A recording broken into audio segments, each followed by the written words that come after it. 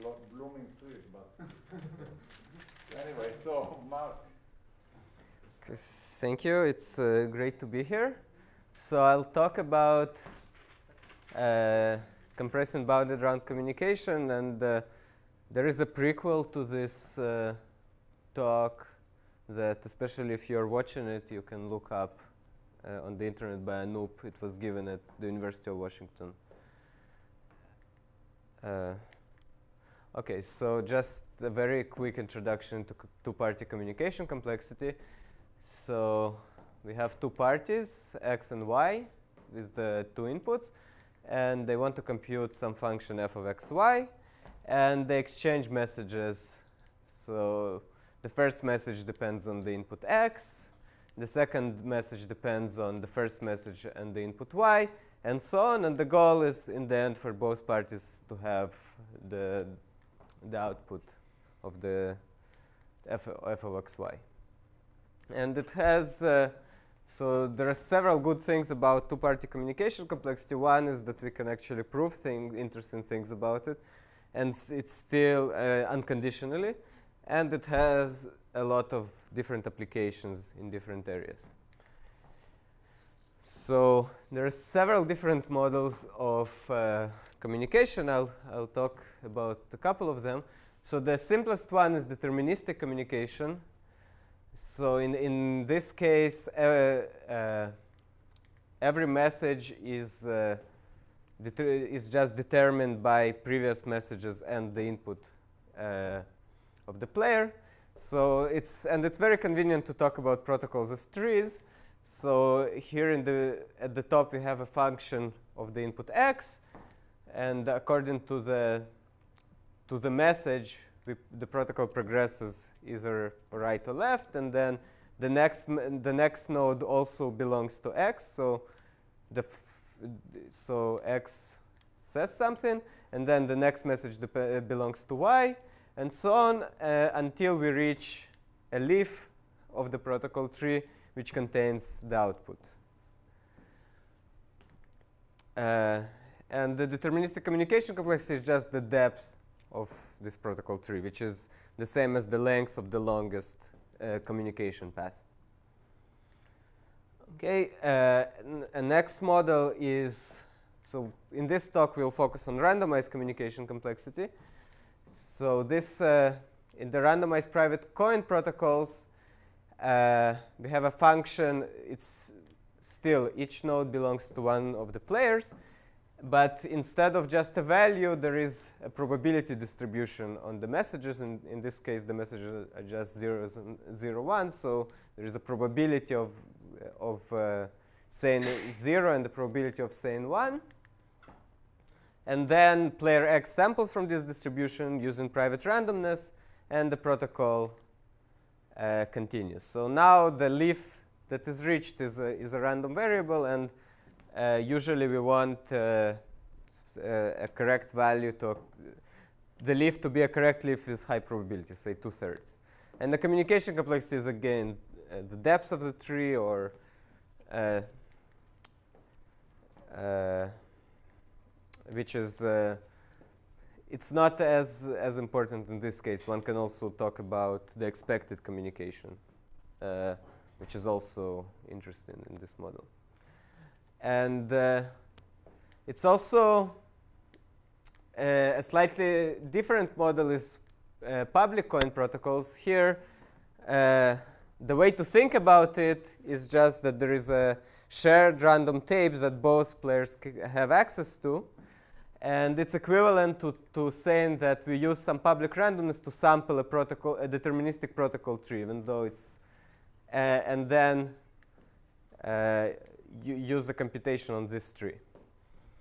And uh, and it's this model appears to be stronger than the private coins because you can always simulate a private coin protocol with public coins. You just partition the cloud of randomness into, uh, into x's randomness and y's randomness and run the private coin protocol. But it turns out that actually it's not much more powerful that you can take a public coin protocol and with uh, very little overhead simulate it with private coin protocol.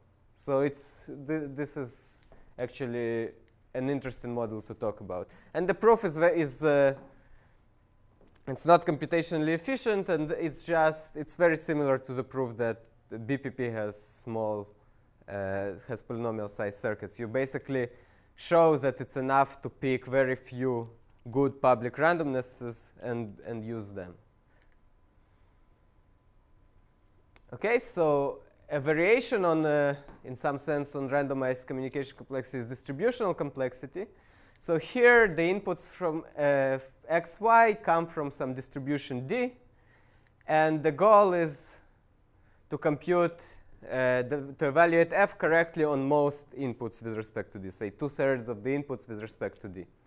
And of course, it's easier than, uh, than doing, uh, it's, it's uh, a weaker model than randomized communication because you can just, uh, if you take your randomized protocol and you fix the randomness random uh, in a random fashion, you're likely to do well against any distribution. So in particular, there is a fix, there, by a simple probabilistic argument, there is a fixing of the randomness that uh, that uh, succeeds, say, with respect to two-thirds of D.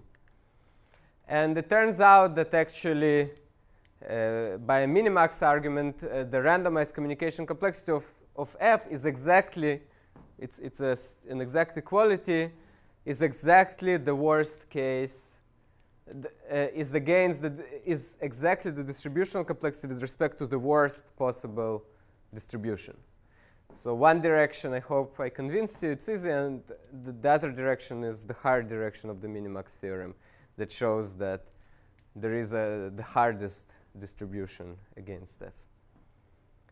Uh, okay, so uh, this is the introduction into into the communication complexity models. Now I'll talk a little bit about information theory, but uh, it will have a lot of pictures, so don't tune out. Uh, so, so the entropy of a random variable is is uh, this quantity, which is the expected log of 1 over the probability. Uh, and the canonical example is if x is a, a, uniform point in S, then the entropy is the log size of the set. Uh, okay, next, for two uh, random variables a and b, uh, the mutual information is defined as uh, the sum of their entropies minus the joint, the entropy of the joint variables. So the two extreme cases to think about is imagine that A and B are completely independent. Then the entropy of AB is equal to the entropy of A plus the entropy of B because, uh, and uh, so the mutual information will be zero. On the other hand, the, the other extreme is suppose that A and B are the same variable. Then the entropy of H of AB is, is the same as the entropy of A. Because there is uh, two copies of A have exactly the same information as one copy of A. So in this case, uh, the mutual information is equal to the entropy of each one. And in general, it measures uh, how much information one cares about the other. And just a technicality, you can condition it on a third variable, C, which means that you take expectation over, over C. Okay, so how does it apply to, to protocols? Uh, so we have a public coin, uh, a protocol that uses public randomness uh, and where the inputs come from some, some distribution. And we want to define how much information was conveyed in this protocol. So there are two ways to define it. One is the information learned by the observer. So what is the information learned by the observer? It's the mutual information between the inputs and the transcript and the public randomness. So TR is what's observed, what the observer sees, and X and Y is are the inputs is what the observer is trying to learn about. And so this is the, this quantity is the amount of information that an observer that looks at the protocol learns about about x and y. But actually, the more uh, relevant quantity for this talk is information learned by players. And uh, so what is that? It's uh, the mutual information between x and the transcript given y. This is the y's viewpoint. This is what y learns about x. So y, it's given y. Observe in tr what you learn about x. And similarly, this is what x learns about y. And uh, which quantity is, is uh, smaller in general?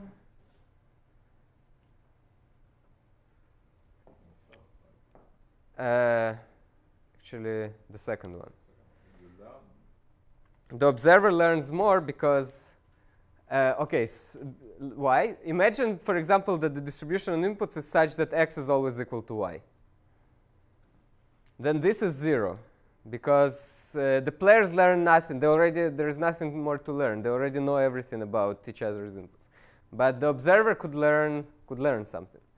And more generally, this uh, another interesting fact is that these quantities become equal if the distribution is a product distribution. Because in that case, knowing y doesn't give you any advantage, doesn't put you in any special position with respect to just an observer that doesn't know y. So this becomes the amount learned from the protocol about x plus the amount learned about y period. Uh, so this is smaller, and uh, the main problem that uh, we are trying to solve and uh, have been trying to solve for a while uh, is simulate uh, the protocol in this much communication, in, in, the amount of information that's learned by the players. And in some sense, it's the analog of compressing messages. So if you have a stream of messages you want to compress to the entropy, here you have a protocol and you want to co compress it to the information content. And this is what we'll be trying to do in this talk as well. Uh, okay, one more, I think, last uh, information theoretic like quantity. You want to relate the previous one to information cost? This, uh, this is the information cost. So it was defined by Yao and uh, so what, when, when they define their information cost, the same notion that's used in uh, you know, later by uh, Jayram and uh, Bar-Yossef and so on to solve this. So the, their information cost was this, or it was? I think it was different. Maybe it was the first one. It was the first one. But, but this is like more challenging. Yeah, I'm not sure it, it was. Uh, It was the first one. It I was- think I think that what they called information cost, this quantity was somehow it is sometimes implicitly de- defined. In in one of the papers, of yes. disjointness, but explicitly what the people no, no, but they, they uh, in the uh, original paper that defined information cost, they proved the direct sum for information So that was cost. not for this, that was for the previous co- For the uh, previous quantity. one. And, and that previous quantity is larger, so simulating i- i- it is less challenging. So actually, the, the first quantity we know how to simulate. So, Yeah, Uh, so, so, so, yeah, so we have a now simulation that we uh, only a quasi-linear s- simulation for the first quantity. And, And uh, this this is harder. So this we don't know how to. Si- and it's not clear that you can do it actually. but somehow intuitively we believe that this is the right notion of information cost. They coincide for product distribution, but Yeah. somehow it seems to us that this is the right notion. That when they don't coincide, you should think of this one and not of the other. But uh, Yeah, and uh, and this is kind of the best you can hope for. Also, we can't. Uh, there's no reason to believe that the other one is the best you can hope for. Uh, and this is also what you get from the direct sum as, as your quantity. Okay, so now let's talk about just uh, distributions. So we have two distributions P and Q. Uh, this is the information divergence between the two distributions. It's, it's an asymmetric quantity, so it's the expectation with respect to P of log P of x over Q of x. So let's see some examples. Uh, if uh, P is a uniform, if Q is a uniform point in this set Q and P is a uniform point in a subset, then the divergence is the log of the ratio between the two uh, uh, between the two sets. So it's kind of if I tell you that an element is in Q, and then I tell you that this element is actually in P, how much more information did you get from, from this fact. And of course, the smaller p is, the more information, added information you learn from this fact. Uh, and note that if, uh, if p didn't, if, if there was a point in p that's not in q, then this quantity would be infinite, because somehow uh, you'd get, uh, you get an, an infinite quantity here. Okay, so here is an important identity that we'll use. Uh, mutual, the mutual information between x and y is the expectation with respect well, this is a symmetric quantity, but one way to break it down is the expectation with respect to y of the divergence between x conditioned on y and just x. So you take a typical element of y, and you ask how much more information x, added information x conditioned on this y does uh, contains. So again, let's look at two extremes. If, if x and y are independent, then the divergence is 0 because it's just x here and x here. So the divergence is 0, which is, and the mutual information is also 0. And on the other extreme, if x is equal to y, then you get expectation with respect to x of just a singleton with respect to x, and this is just the entropy. This is just, if you, if you open it up, you'll see that it's just a fancy way to rewrite the entropy. So, so this is, uh, and it also makes sense uh, because it's, for a typical y, how much more information condition on y add to x. Uh, okay, so uh, let's now, I, now I want to show to you how to simulate one round, a one round protocol. So it's the same problem, but instead of having multiple rounds, uh, you have only one round and say x speaks. So first of all, because x speaks, x doesn't learn anything from this communication because you don't just learn by, by saying something, you have to listen. So this is 0. Uh, and this is the amount of information that y learns from this communication. And our goal, but the message that x, uh, that x sends could be much, much longer than this quantity because uh, there could be redundancy, there could be prior knowledge, and, uh, and so on. So let's, uh, let's break it down. So the, the, the amount of information learned by y is the expect, uh, you take expectation over x's. So this is the, the actual distribution of the, on the, of the protocol because this is the protocol conditioned on x, the person who speaks. It's the message that he was sent. Yes, which is in this case just the message. So this is the actual distribution of the message to be sent, px, and only x knows px. Uh, because only x knows the input x. Uh, and this is the prior on, on the protocol according to y. This is what y's prior belief about, uh, about the mess, what x is going to say. So, uh, so this is py. And, and for each specific x, the amount of information is the divergence between these two quantities. It's the divergence between what x will say and what y thinks that x will say. And, if, and in a sense, if the divergence is high, it means that uh, a lot of information is, is conveyed. And if the divergence is low, then little information is conveyed. So if the protocol was deterministic, then uh, this is a singleton, tr x equals x? Uh, yes. And then it would be uh, just the entropy of just tr. the entropy of tr. Yes. which is uh, you you get back um, uh, yeah so in this case and the goal is to simulate The entropy of x or the entropy of x given y? the entropy of x tr. of tr given y Of tr given y, yeah. Yes. The entropy of tr given so which is the what You have- y learns yes. It's uh, uh, and the goal is to simulate the protocol using this many bits of communication. O tilde or or just o of i or or some something close to this. Okay so now it becomes a sampling problem.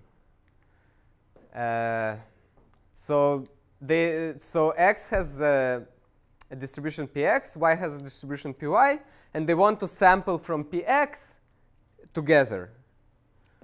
Uh, okay, so let's uh, have uh, some simple warm-up example, uh, examples first. It's not clear that the problem is for them to sample uh, together from px. It's just for x to send a message which is that long. For? Yeah, but one way to solve it is to sample together with from px. That would The commu- you are still uh, trying to simulate it by uh, by uh, one message protocol where x sends a message. No, actually. You are trying to simulate. We are trying to simulate it with with uh, an interactive protocol. No, but the goal is for, for Y to be able to compute. protocol, not Yeah. not necessarily one round. No. But, but So the goal is to to, learn the proto- to learn that message. So the, the goal is that uh, you, you Yeah, you is to sample it and learn it. So sampling it and then sending it is not an efficient way of dealing with it because it's uh, you you somehow lose uh, your information blows up if you do The that. message could have been long. Uh, The message could have been long, and you want to leverage the fact that you have this shared randomness. So let's see a very simple example. Suppose that px and py are the same thing, just a uniform distribution on some set q, which means that px is independent of x because for any x you, you have the same distribution, and the divergence is zero. So in this case, for example, you want to simulate it with a zero uh, communication protocol. So how do you do it? Well, you look at the random tape and you interpret it as random elements from the set Q, and you just output Q1. Okay, so it's not it's not sophisticated. Uh, you just uh, you both know the same distribution. You you can just sample together. You don't need any communication. Okay, so this shows that uh, shared shared randomness is useful in this setting, if nothing else. Okay, so an interesting special case that actually has been so, uh, previously solved is when the distribution is the product distribution so that the, tr- uh, the transcript is independent of y. Because now, if, uh, if the distribution is a product distribution, the expected, the, the distribution of the transcript given y is the same as just the distribution of the transcript given nothing. Because y doesn't add any information to what x is going to say. Which may, and the consequence of this is that the distribution py is known to both players, to both x and y. Uh, okay, so and the goal is still the same. So x, uh, x knows the distribution px and also the distribution py. y only knows the distribution py. And the goal is to jointly sample from px. So let's look at the following example. Uh, Px is a uniform point in P, Py is a uniform point in Q, and uh, the ratio is say 2, so we want to sample with an expected 1 or constant number uh, of bits of communication. Uh, okay, so the important fact here is that uh, player X knows the distribution Q. Okay, so how should we do it? Well, we can again interpret the joint randomness as uh, random elements from Q. But now we can't just take Q1 because Q1 might not belong to P. So uh, the X player looks up the first element on the tape that belongs to P and, uh, and sends its index. And because in this case the ratio was 2, the expected length of this index is constant. And actually, and if the ratio was 2 to the k, then the expected length of the index would be k, or some constant, small constant times k. Okay, so the protocol is just look, interpret the random tape as elements from Q, uh, uh, sampled according to Q, and pick the first element that uh, happens to belong to P. And just send the index, and, and that's it. You, you've done sampling. And this actually, th- the general problem is slightly more involved, but uh, it's similar ideas. It's, uh, it was uh, in this paper by Harsha et al. from 2007. Uh, so what they do, they sample with no error, and in communication complexity, that is uh, the divergence plus plus a constant. And actually, in this case, in their case, uh, it's a one-round protocol. So i in that case, in their case, it's possible to do it in one round. In our case, I don't believe. In, in the general case, I actually don't believe you can do it in one round. But it's uh, of course we can. The protocol you described is, is one round right now. Yeah, this protocol, the protocol I described is one round, and the generalization is also one round. Or actually, the original protocol. Right. I mean, this, this protocol is more or less like, right. I mean, thi- this gives you that almost, right? What you just said. I mean, be- because if the divergence was k, then the Yeah. index would be also k. Yeah, but yeah. Uh, uh, okay, but uh, unfortunately, in the general case, it's not true that the, that x knows py. So actually, x doesn't know py, which in the in that picture means that player x doesn't know the set q. So uh, let's look at the same example again. Uh, again, the divergence is 1. P is a subset of Q of size uh, half, um, half Q. And they want to sample uh, jointly from P, but now Q is not known to player X. So this is uh, fairly unfortunate because there isn't even a common ground to start. So before, the common ground for starting the protocol was uh, look at the set Q and interpret it as uh, interpret the tape as elements from Q. Now there isn't a common uh, a common ground to start the protocol from. So something some other idea is necessary. Uh, and our main result is that we can sample with error epsilon using the divergence plus uh, low order terms of communication. Pl plus log 1 over epsilon uh, of communications. So here is the, That would be an interactive protocol.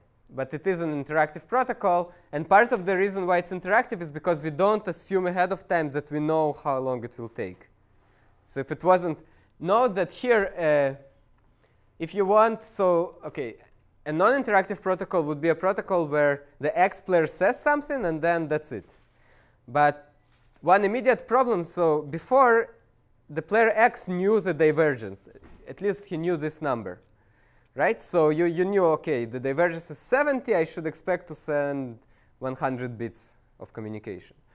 Now the divergence is not, it depends on Q, and X has no idea what Q is.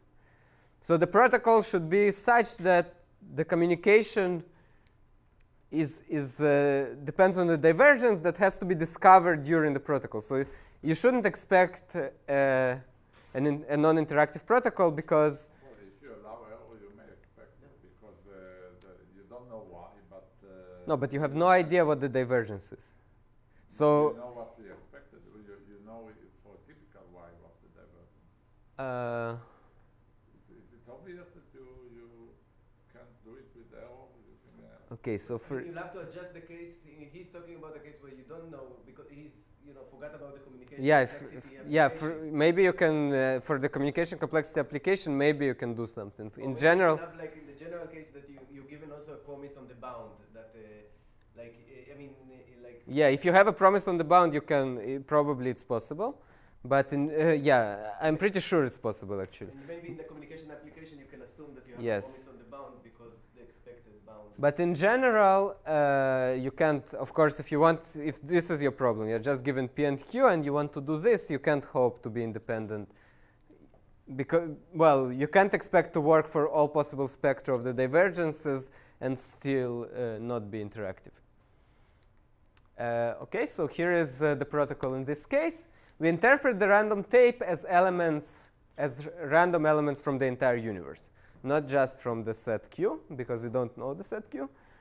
And now Alice, uh, the player X looks at, uh, at the tape and finds the elements uh, that belong to P. And the output will be the first element that belongs to P, which is uh, U6 in this case. not the output, the first message. No, Uh, that will be the output. You can't send it. Ah, Because to send it, uh, you need to specify an element. Okay. So it will not be the output. 6 is huge here. 6 is log the size of the universe. So this is what they are supposed to agree on, but uh, They have to agree on six, but you can't afford to send six because six is huge. Six is the divergence between P and the entire universe. Uh, okay, but luckily, Bob, uh, the Q player, also has a slightly bigger set, which means that he can single out a few more elements on the tape. So, say his candidates are U2, U6, and U7, and he doesn't know which ones of those belong to uh, P. But with a little bit of communication, uh, with some hashes, uh, by sending a few hash functions, it's possible to eliminate 2 and 7 and agree on U6. And this is basically the idea. Uh, but you can see that, uh, that somehow there are inherent, uh, the error, for example, is inherent in here because if you're unlucky with the hashes, you're talking about things that are way too long for you to actually talk about explicitly. So uh, you you have to rely on on uh, something like hash functions. But of course, uh, And there is also some uh, exponential, uh, you know, like you try hashes of length 2, 4, 8, and so let me show you the general protocol because it's I think it's also interesting. So let's re- remember the goal is uh, to sample using order of log 1 over epsilon plus the divergence number of bits. Actually, now that we've written it down carefully, we can sample with the divergence plus lit plus O of square root of the divergence plus log 1 over epsilon, but that's not important. It's just a constant. It's important for some of the applications. So we have public randomness. So our universe, let we take the universe U and the, the interval 0, 1. So, uh, uh, and this is the histogram of px, and this is the histogram of py. So, so again, this graph is uh, the x-axis is the universe, the y-axis is the 0, 1 interval. So the area here is u, and here at the bottom we have the histogram of, of the distribution px with area 1.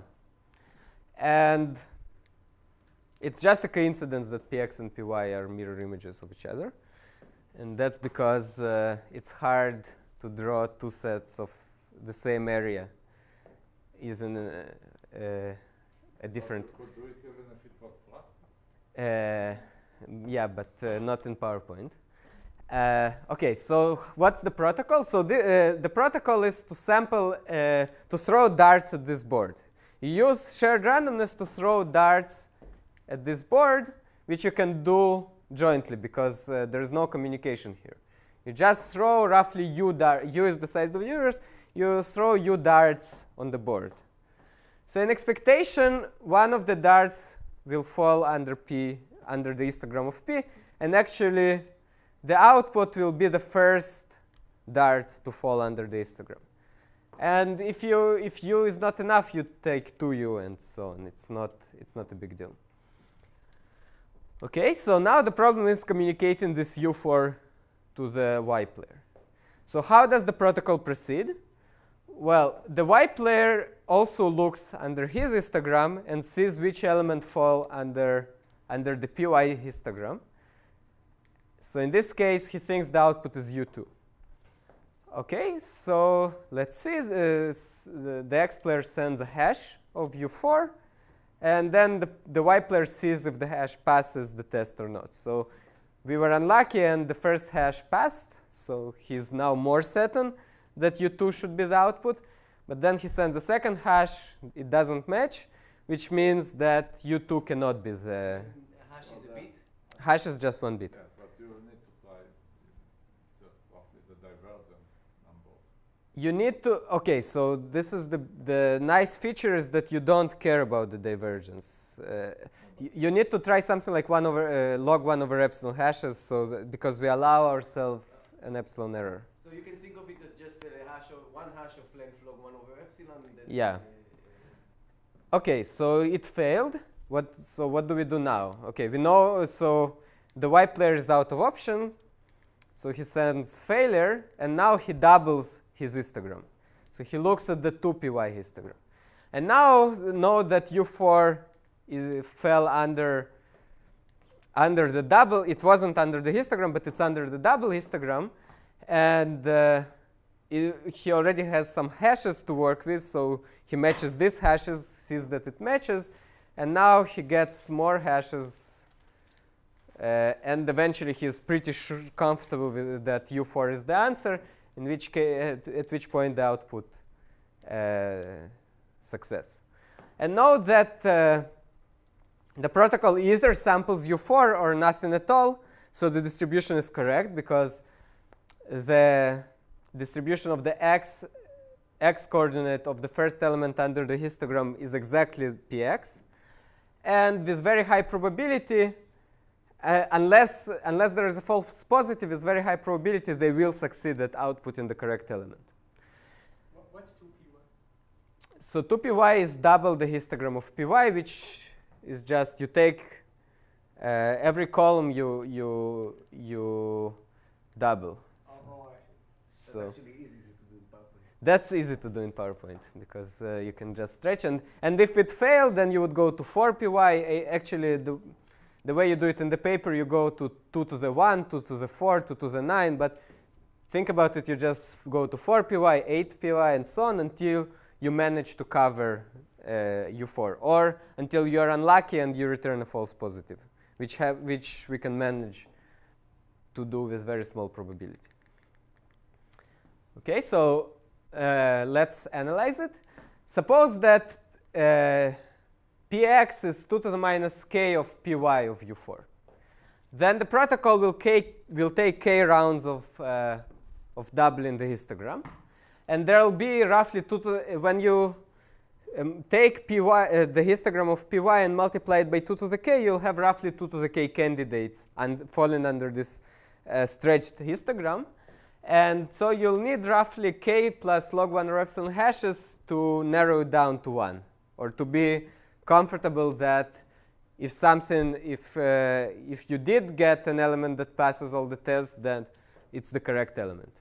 So the contribution of u4 to the cost is the probability px of u4 that you selected this element under the distribution of the x player times k, which is log px of u4 over py of u4, plus this log 1 or epsilon term.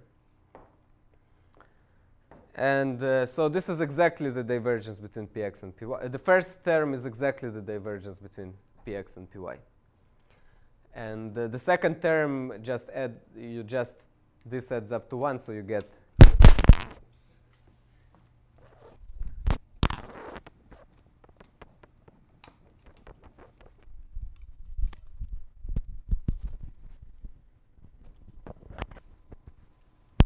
this work? Uh, you get uh, uh, uh, this log, uh, the divergence plus log 1 over epsilon. Okay, so from here we can go to compression protocols. Just a second, you know that the divergence number of rounds is a lower bound also? If you are simulating one round protocol, protocol, you- the number of rounds you use is about the divergence. Do you know that it's a lower bound on the number of rounds to do what you want? No, it's not. There is a trade-off between. Uh, In this communication, you want communication. no, I, I actually we, we, we probably won't write write it up, but I can do log of the divergence with paying a constant factor in the communication. I think. It should be possible in log of the divergence because once you know the divergence, you can do it actually in one-way communication. So instead of doubling, every time uh, square the histogram. So instead of so instead of going 2, 4, 8, go 2 to the 2, 2 to the 4, 2 to the 8. This is not too costly in terms It's you overshoot by a factor of 2. So here instead of k you risk to get 2k at most. So you overshoot by a constant, Yeah. But you reduce the number of rounds exponentially. For our main application, we actually wanted to get rid of the constant in, in front of the divergence. So what we get in the end is d plus square root of d plus log 1 over epsilon plus o square root of d. Okay, so do you know that log the divergence is lower bound? I think so, but uh, I'd have to check it more carefully, but I think, oh, that it's a lower bound. Yeah, it's a low. Well, it, it's it's a trade-off again. If you're willing to tolerate a sub, a super constant blow up in the No, no, communication, no, I can. No, with the constant. If you, you're You're, you're only willing to pay uh, 10, the divergence plus log 1 over epsilon. But, but I mean, you're not given a guarantee what is the divergence. You're not. so No, you're not. Then- So So maybe- So maybe just by some kind of, uh, th- just the fact that you have to guess. It doesn't matter. I What is don't know. I'm just asking if they know. it. Mm, we don't know, but it's I, it's probably true. But uh, there is a more fundamental.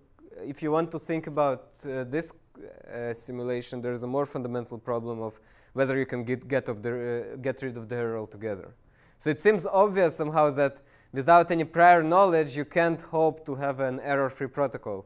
But actually, we can't prove it. So uh, that's uh, that's an interesting possibility. Okay, so now I want to, in the about five ten minutes, I want to go through some of the corollaries. So what we did, uh, so we go back to the protocol. So we have a protocol uh, with information ID, and what we what we proved, uh, or what follows from the discussion, is that a protocol with information ik and k rounds of communication can be compressed into a protocol with with communication ik plus o tilde of ik plus k. So you pay the information cost plus uh, a constant or something polylogarithmic per round uh, to, to cover for the error and so on. Actually, it's it's it's a, it's just log epsilon, but But uh, uh, polylogarithmic in what? well, it's actually logarithm. It's log one over epsilon, and uh, the the actual thing that you pay here is is just one over epsilon. So uh, is log one over epsilon plus a constant. Uh, okay, so let's. Uh, I want to introduce some quantities, uh, so I can state the results. So uh, C is the uh, distributional, or uh, I, I'm, I'll talk about distributional communication complexity.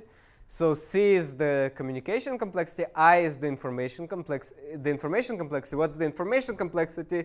Is you say, okay, I don't care how long the protocol will be. I want to convey as little information as reveal as little information as possible to the players. So I is uh, is uh, this quantity generally smaller than C. And ck and ik will be the same where you limit yourself to at most k rounds of communication. So trivially, the information complexity is less than communication complexity because a communication protocol with C communication cannot reveal more than C bits of information. And uh, I is equal to limit. So, so I doesn't have to be realized by any finite protocol. It's logically, at least, it's possible that you have a, a sequence of ever-growing protocols that reveal less and less information, and that converge to some quantity i in the limit. So i is uh, equal to the limit of uh, ik as k goes to infinity. Well, for c it doesn't happen, so c is obviously less than if you bound yourself to just k interactions. So a pointer ch- chasing is an example where actually there is a gap here, but if you, but c is equal to cc because you can never use more than c rounds of interaction. And what we proved is that c is less than uh, ik plus k, and I want to point out the previous uh, in our previous paper we showed that if you have a protocol with information content ic prime and communication c prime, you can compress it to square root of ic prime times c prime. But this is incomparable because because here it's, we are talking about communication, here we talk about the number of interactions. And communication could be much bigger. So even though uh, here we have a geometric mean and here it's arithmetic mean, uh, it's, uh, those are incompa- incomparable results. And uh, an important open problem that I'll come back to is whether you can actually compress all the way to the information content. Uh, okay, so direct sum. Uh, now I'll talk about direct sum theorem. So direct sum theorem says something about the, the hardness of n copies of n in terms of uh, the hardness of uh, the, the hardness of computing n copies of f in terms of the hardness of computing one copy. And uh, in communication complexity, the, the main open problem is whether computing n copies is n times as hard as one copy or whether you can save something from having multiple copies. And in our previous paper, we showed that it's at least square root n as hard as one copy. And the way it follows from the fact that the information cost of one copy is less than the communication cost of n copies over n. So even though we don't have a direct sum for co communication cost, we have direct sum for this notion of information. So this was also, the, the same inequality was used in the original Yes. with the other information. Yes. Because Yes. Still this inequality holds. Uh, They got uh, an exact direct sum for that notion. yes. For their notion, they had. But it's not enough for, for general non, non-product distributions, which is uh, what you need to, to use Yao's lemma. So the problem is that if you want to a, a theorem about randomized as opposed to distributional complexity, it's minimax over all distributions, including non-product ones. So you, you should be able to handle any distribution. So for what uh, communication complexities did this work? The BBCR? It works for, uh, for any distributional and by, as a consequence, for randomized. Because the way you go from distributional to randomized is through minimax, which has to work for any distribution. So when you say this follows from the following fact, what follows from what? So Well, this follows from the compression and this fact. the compression, right, the result in the previous. Uh, Yes. So now we proved the, uh, this bound on uh, uh, on the communication complexity, and it implies that if you limit yourself to k rounds, at least for a bounded round, if you if you want a bounded round protocol for fn, you can do better than n times the protocol for f. So if you if you are going if you hope to save on n copies, it has to be a highly interactive protocol. Otherwise, uh, otherwise there is a direct sum result. Of course, it doesn't rule out a highly interactive. Uh, Couldn't you just what you use what you said to also show like uh, even uh, uh, something stronger that yeah, you could have some bound here on the number of if interactions, that was O1, then the other one will be O1 as well or something. or right? something like that. But you have to be careful. But and so this is one application, but there are more interesting applications that I want to talk about. One is that what what follows that information is is exactly equal to amortized communication. So because of this fact, we see that amortized communication is bigger than the information. So if you take communication complexity of fn over n, it's bigger than I of f.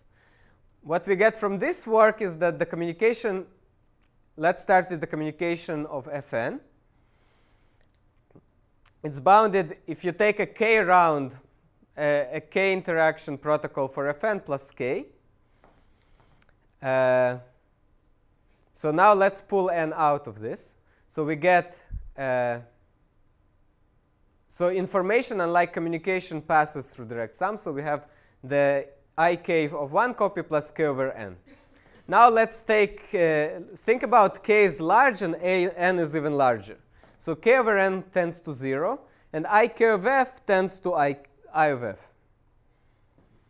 Because uh, eventually, if I allow more and more uh, interaction, uh, I, I of k of f tends to I of f. And we get this equality in the end, that uh, as n goes to infinity, inf uh, this one quantity that is information cost actually captures the way things scale to infinity. Uh, okay, uh, and So why does it not give a direct sum result? uh, why doesn't it give? Because it's conceivable that communication complexity of one copy is much larger. It gives a direct sum result eventually. If you want to see if you can save, for, uh, if you can do a billion copy a thousand times more efficient than a million copies, then it gives you something there. But it's conceivable that one copy is actually much, much, much more expensive than I of f. Ah, okay. And, uh, and then n copies, it would be n times I of f, which is only square root n times the communication complexity of f. So in the limit, you're right, but No, uh, but for, yeah, if n goes to infinity, then there is. but I it guess that's not very, very interesting. But okay. Yeah, if you don't know exactly when this happens because uh, the, this limit k, uh, you said that i is the limit of ik. yeah, but you don't know how. Put length and you don't know how. Yes. So, but but in the limit, at least uh, we understand how these things If you scale. similar results for XO, then which will somehow be meaningful with, uh, also when uh, n when f is like a, a Yeah, I think we, we, we can Constant prove the same for XOR. right, I mean, so then you, it's interesting even when f is like a constant size function, and then Yes. you show like a, an optimal direct sum in this case. well, in the limit at least. Well, it's not, but but yeah. So actually, it's used to show the opposite direction, the upper bound on on many copies. And finally, something that I I don't think I have time to go in depth on, but from this discussion, what you get, you get a complete problem for direct sum. So we get a specific problem that uh, I'm not sure how what we'll eventually call it, but say the protocol simulation problem, which is basically given two protocol trees that represent a protocol with low information cost simulated. And uh, so this problem has the following properties. The information cost of the problem is, is I. Well, well, what is exactly given to the two players? Uh, it's, you are given two protocol trees. Well, I'm, uh, well, each player, give, is given one protocol tree that represent a protocol that has low information cost. And you want to simulate, uh, it's, it's a promise problem, you want to sample a random leaf. And so it's, uh, so if you could, uh, if you could, uh, so the information cost by definition is I. If you could simulate it, if you could solve this, if the communication complexity of this problem is I, then direct sum holds because then protocol compression holds and, and you get that uh, the communication complexity of one copy is equal to I, which is what, what we would want. In, he, what we show here is that actually you can do, if you take enough copies, so you have this problem that, is, uh, that seems hard because it, it has a lot of interaction. But if you take many, many, many copies, it will become a flat problem because now if you take enough copies, the, the, the depth will become negligible compared to the width. So the number of rounds becomes small and the communication complexity of n copies is n times i. And if the communication complexity of this specific problem is much bigger than i, then direct sum fails, at least for distributional complexity, because you get a problem that one copy is hard, but many copies scale like i. So, so we have, in some sense, the hardest problem to argue about for communication complexity. Maybe it's a bit of a tautology, but, but uh, it's a complete problem, and unfortunately, For what the input distribution? uh,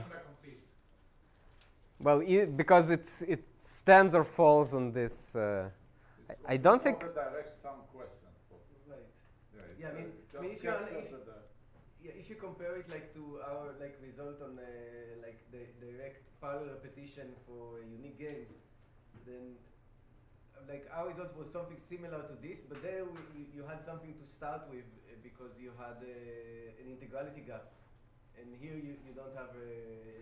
It tells you if you have like a gap here, then you. you I think it should work for any distribu- I mean, for any distribution. in this- What do you mean? I mean, you should describe, uh, describing a distribution for a distributional problem, you should give a distribution or say that, uh, you know, or say, it sa- it says that if there exists some distribution on which Yeah. uh, So I one of them- and yeah, yeah, I and C are far from each other, then uh, there is uh, then direct sum fails.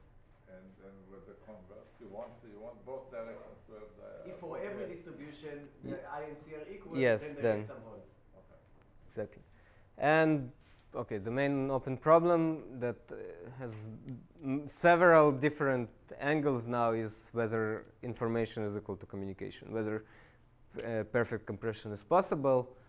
and I'm not sure it, it can go either way. The trouble is that if you want to prove lower bounds on this, it has to go through non-information theoretic techniques because uh, by definition. Thank you.